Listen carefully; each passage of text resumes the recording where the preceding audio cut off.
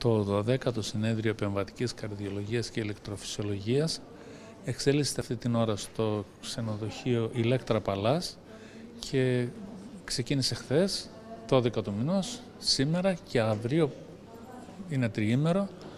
και οι εργασίες του αφορούν τόσο την επεμβατική καρδιολογία όσο και την ηλεκτροφυσιολογία. Ό,τι τελευταίο υπάρχει ως επιστημονικό δεδομένο στους δύο αυτούς τομείς παρουσιάζεται στο συνέδριό μας από εξαιρετικούς και υψηλού κύρους και καταρτήσεως συναντέλφους. Παράλληλα εξελίσσεται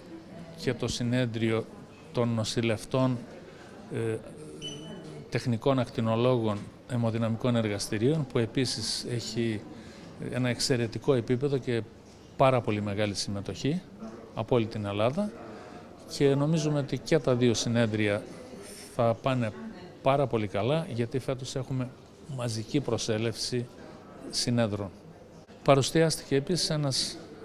μεγάλος αριθμός εργασιών οι οποίες αποτελούν το απάβγασμα της προσπάθειας των συναδέλφων μας να πάνε κάποια βήματα πιο πέρα, κάποια, σε κάποια βήματα προόδου την επεμβατική καρδιολογία και την ηλεκτροφυσιολογία.